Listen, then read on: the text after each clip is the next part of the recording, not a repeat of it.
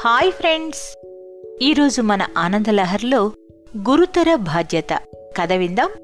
Taiwan school teacher అనే చలనచిత్ర ఇతివృత్తం ఇది ఈ చిత్రంలో ఒక బాలిక తల్లిదండ్రులతో తాను అధ్యాపక వృత్తినే చేపడతానని చెప్పింది.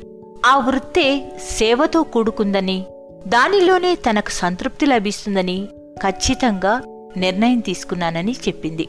తల్లిదండ్రులు ఇక మరో గత్యంతరం లేక ఆ బాలికను చదివించి ఆమె కోరిక మేరకు ఆమెను అధ్యాపకురాలిని చేశారు.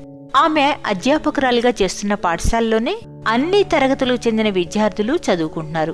వారిలో సంపన్న కుటుంబానికి చెందిన ఒక పిల్లాడు తక్కిన అందరితో ఏదో ఒక రకంగా గొడవ పడుతూ ఉంటాడు. అదే అతడి వ్యాపకంగా మారిపోయింది. ఆడపిల్లల శిరోజాలను చటుక్కున పట్టి లాగటం ఉత్తపుణ్యానికి ఎగతాళి చేయటం ఒక్కో సమయంలో చెయ్యి చేసుకోవడం ఇలా తన దుష్ప్రవర్తనకు అదుపు లేకుండా పోయింది. అధ్యాపకురాలు అప్పుడప్పుడు ఆ ఆకతాయి పిల్లాణ్ణి హెచ్చరిస్తూ ఉండేది. కాని ఆ పిల్లవాడు ఆ హెచ్చరికలను కించితైనా లక్ష్యపెట్టేవాడు కాదు.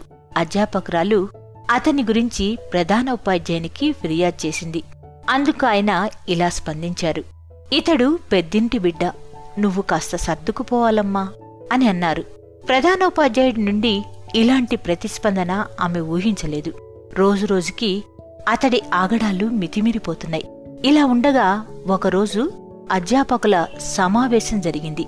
ఆ సమావేశంలో మన అధ్యాపకురాలు ఆ పిల్లవాని ఆగడాలను గురించి చెప్పి కఠినంగా అతని మీద చర్య తీసుకోవాలని చెప్పింది. కాని సమావేశంలో పాల్గొన్న తక్కిన అధ్యాపకులు అతడు గొప్పింటికి చెందినవాడు. నువ్వే కాస్త ఓర్పుతో వ్యవహరించాలి అని చెప్పేశారు. వేరే మార్గం కనపడక ఆమె రాజీనామా చేసి ప్రధానోపాధ్యాయునికి రాజీనామా లేఖ సమర్పించింది. అది చూసిన ప్రధానోపాధ్యాయుడు దానికి స్పందిస్తూ కొన్ని రోజులు కొంచెం ఓపిక పట్టు. రాబోయే తల్లిదండ్రుల అధ్యాపకుల సమావేశం తరువాత నువ్వు ఉద్యోగం మానేయొచ్చు అన్నాడు. అధ్యాపకురాలు ఇక సహించలేకపోయింది. ఆ దేశం అప్పుడు సైనిక ప్రభుత్వ పాలనలో ఉంది. ఆ ప్రభుత్వానికి ఒక సేనానాయకుడు అధ్యక్షుడు. చిన్నగా వెళ్ళి ఆ అధ్యక్షునికే తన ఫిర్యాదును సమర్పించాలని ఆమె నిర్ణయించుకుని అధ్యక్షుని అధికార నివాసానికి వెళ్ళింది. అక్కడ రక్షక భటులు అధ్యక్షుణ్ణి కలుసుకోవడానికి ఆమెకు అనుమతివ్వలేదు ఫిర్యాదు రాసి ఇచ్చి వెళ్ళమన్నారు ఆమె తన ఫిర్యాదులో ఆ పిల్లవాడి ఆగడాలను పూసగుచ్చినట్లు రాసిచ్చేసింది అతడి మీద ఫిర్యాదు ఇచ్చినందున ఆమెకి ఏదైనా ఆపద రావచ్చేమోనని పాఠశాలలో అందరూ ఆమెతో చెప్పారు. ఒకరోజు తల్లిదండ్రుల అధ్యాపకుల సంయుక్త సమావేశం జరుగుతోంది. అందరూ మన అధ్యాపకురాలికి ఏం జరగబోతుందోనని సానుభూతితో చూస్తున్నారు. సమావేశం ప్రారంభమవుతుండగా హఠాత్తుగా సైనిక జీపులు అనేకం రాసాగాయి. సైనికులు కాపలాకై వరుస క్రమంలో నిలబడ్డారు. ఇంతలో దేశాధ్యక్షుడు టకటకా నడుస్తూ వచ్చి వేదిక మీద ఉన్న ఆసనంలో కూర్చున్నాడు. అప్పుడక్కడ నిశ్శబ్దం రాజ్యం చేస్తోంది. ఏం జరగబోతుందోనని అందరిలో ఉత్కంఠత. అధ్యక్షుడు గంభీరంగా ఎవరు ఆ అధ్యాపకురాలు అని ప్రశ్నించాడు. ఇదిగో ఈమె అంటూ ఆయన ముందు మన అధ్యాపకురాల్ని నిలబెట్టారు.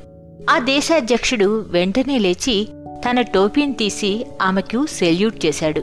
ఆ దేశాధ్యక్షుని మనోడే ఆ ఆకతాయి పిల్లాడు. తాను గుర్తించలేని తాను గ్రహించలేని ఒక వ్యవహారంలో ఈ అధ్యాపకురాలు చొరవ తీసుకుని ఆ పిల్లవాడి ఆకతాయితనాన్ని స్వస్తి పలికించే రీతిలో ఆ పనిని చేసినందుకు ఎంతో సంతోషంతో ఆమెను అభినందించాడు దేశాధ్యక్షుడు. తన కర్తవ్యానికి ఎన్ని ఒత్తిడులు ఎదురైనా నిర్వహించాలి అనేది ఈ కథా సారాంశం. ఇలాంటి మరిన్ని మంచి మంచి కథల కోసం ఆనందలహరి పోడ్కాస్ట్ను ఫాలో అవుతారు కదూ? మరో మంచి కథతో మీ ముందుకు వస్తాను. అనురాధ తీర్థాల ఆనందలహరి పోడ్కాస్ట్లో.